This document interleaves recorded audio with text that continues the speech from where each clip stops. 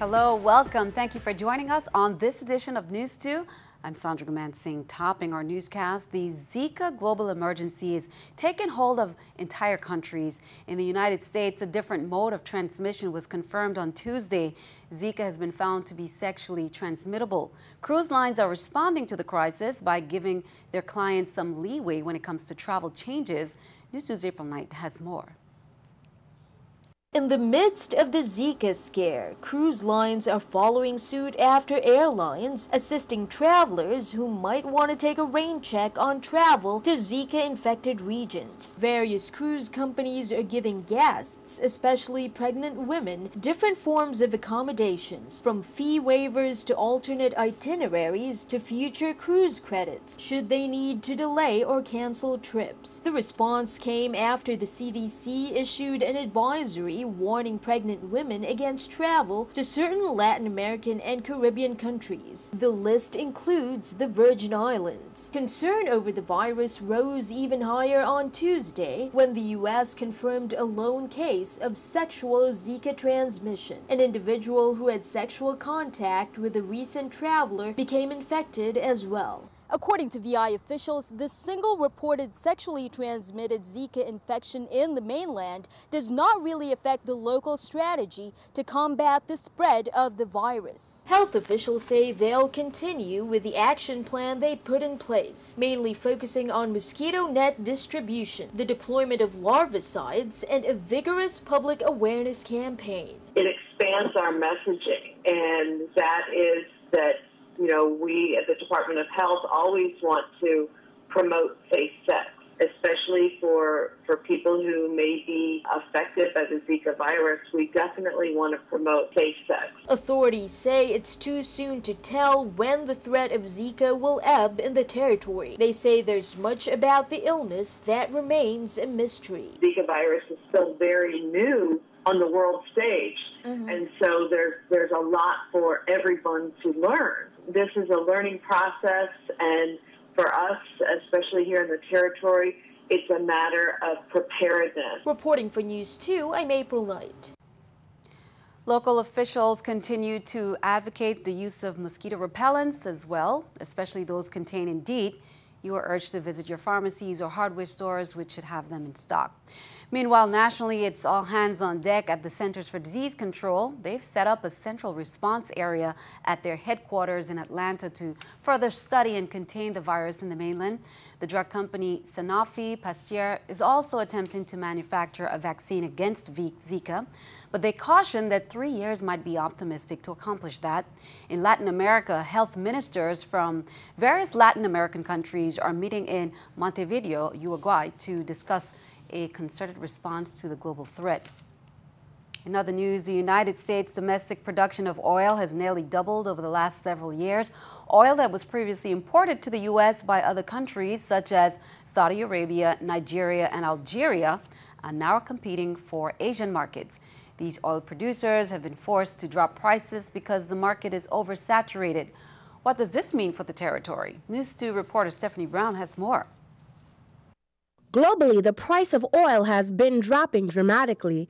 The American reference price for buyers and sellers of crude oil is currently around $32 a barrel, which is significantly less than the $90 benchmark crude oil ran for in the past. However, the Virgin Islands is still feeling the pinch of higher prices on gas, essential needs, and foods.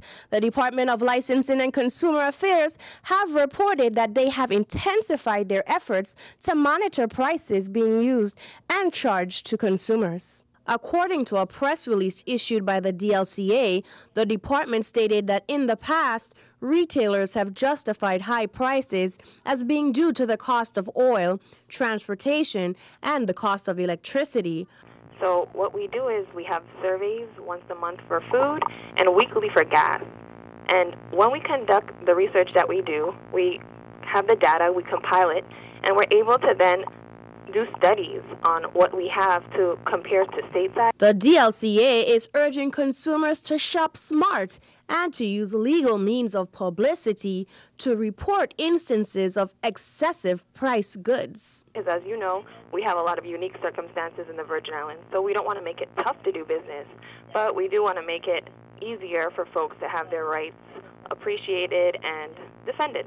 Pictures as well as reports are accepted at the Department of License and Consumers offices. Stephanie Brown, News 2. The Department of Licensing and Consumer Affairs is collaborating with members of the legislature to strengthen laws to prevent and penalize excessive pricing. The LCA has expressed that they can enforce statutory provisions that allow them to set reasonable profit margins. Turn attention to crime reports on Tuesday, February 2nd at 7:39 p.m. The 911 emergency call center received a report of gunfire discharged in the vicinity of the H&R grocery store located on Queen Street in Frederiksted. Moments later, at 7:42 p.m., a second call was made to the call center stating that an individual had been shot. Officers were informed that the victim had been transported to the Juan Luis Hospital by private vehicle. Officers were unable to speak with the victim, who was unconscious and being tended to.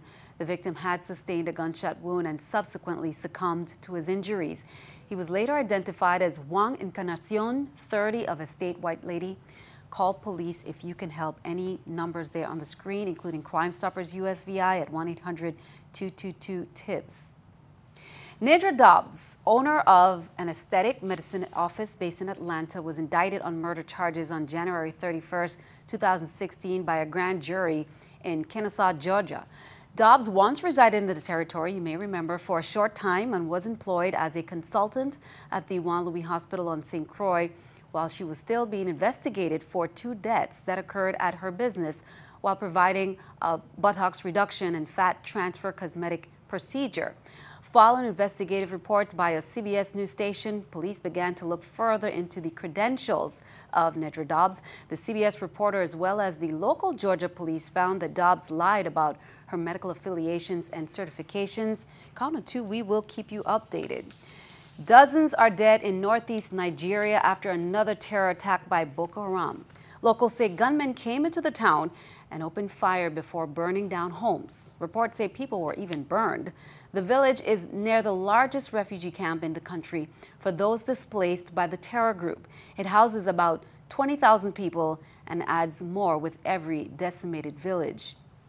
In other news, with Iowa in the rearview mirror, the presidential candidates are in New Hampshire ahead of Tuesday's primary there. Andrew Spencer has the details.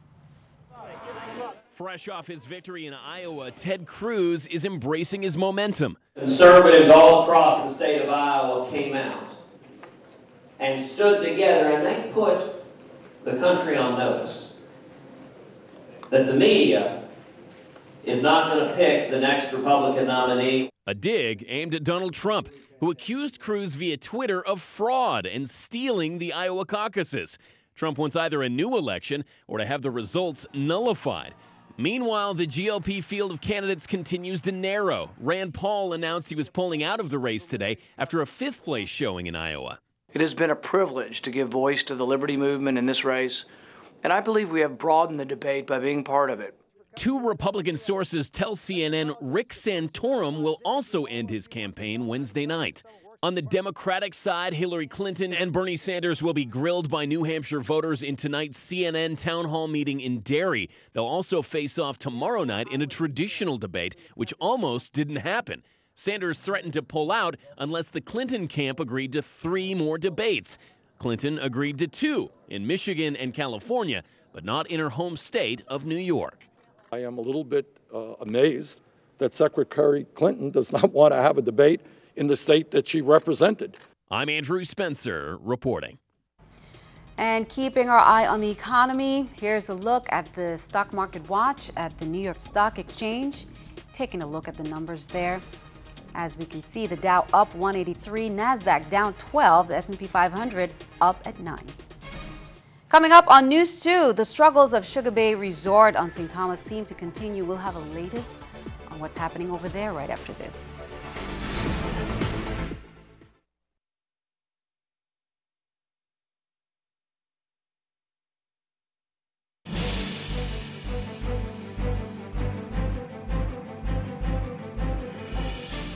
Welcome back. Through the efforts of one lawmaker, it's been revealed that Sugar Bay Resort and Spa has indeed missed a paycheck for its employees but the hotel says it will make good on its obligations. According to Senator Jean Forde, the hotel also denied that it's delinquent in its obligations to the government when it comes to its employees' unemployment benefits. News April Knight has more.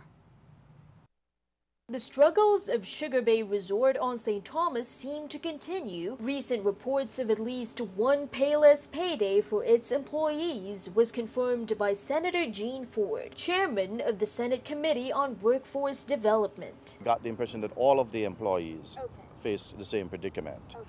He um, quickly said, however, though, that they, they made provisions for individuals who had urgencies, critical matters, they needed to buy medication and so right. forth, that they were able to make an appeal and they will give them, you know, an allowance, if you will. It's a situation that Sugar Bay management promised to rectify by the end of the week. This was not the first bit of bad news received by Sugar Bay employees for the year. In January, some of them were left scrambling for jobs after being abruptly handed pink slips. A News 2 source who preferred to remain unidentified said that when they went to the Department of Labor, they were told that there was some dispute about the company's payment to the department for their unemployment benefits. Meanwhile, Sugar Bay management gave assurance to the contrary. He assured me that all of the, the, the, obligations towards the government as it relates to